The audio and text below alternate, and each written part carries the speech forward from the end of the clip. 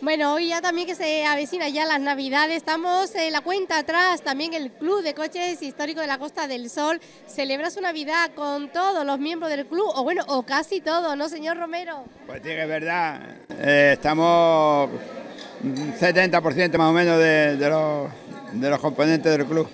es muy difícil con esta lluvia también, faltan los amigos de Ronda. No, y faltan los de Jaén, los que son de fuera han faltado todos, no, no han venido por el tiempo dicho por ahí que han pasado mucha hambre hoy, que no han comido nada, que están todos es que la comida la ponemos muy cortita, muy cortita para que vayan activos y no te no, no vayan a engordar. Entonces la ponemos muy cortita, muy cortita, muy cortita.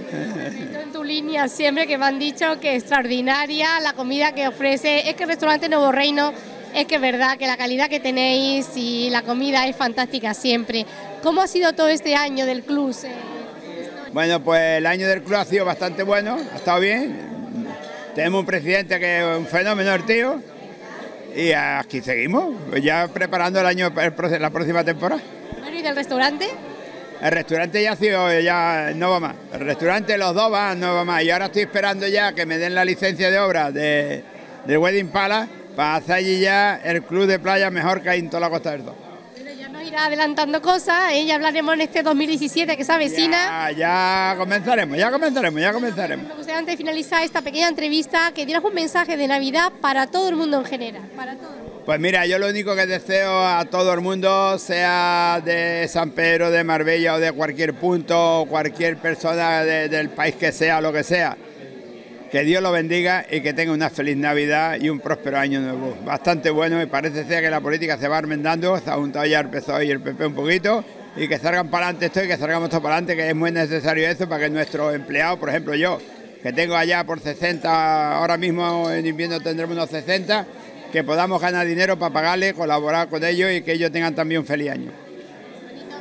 Muchas gracias, que se cumplan todos tus deseos, Pepe, que te lo merece, para ti y para toda tu familia. Dios que lo quiera. Hablamos con don José Luis Arredondo, presidente del Club de Coches Histórico de la Costa del Sol.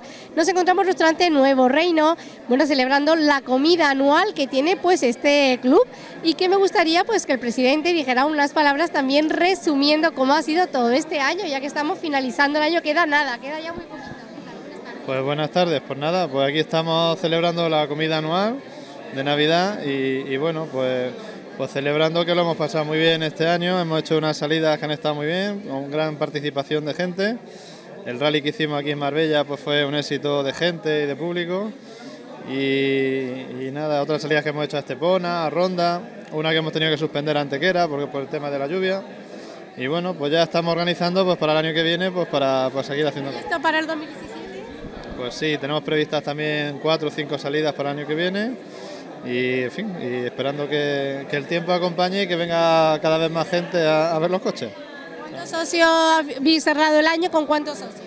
Pues somos actualmente 38 y bueno, ahí para el año que viene yo creo que los 40 por lo menos llegaremos, o sea que poco a poco, poco a poco se va incorporando gente nueva antes de finalizar esta pequeña entrevista, que diera un mensaje de Navidad para todo el mundo en general y sobre todo para los amantes de los coches Pues como dice decimos aquí, pues feliz saludos clásicos y feliz Navidad a todos. Muchas gracias, felices fiestas. Muy bien, igualmente.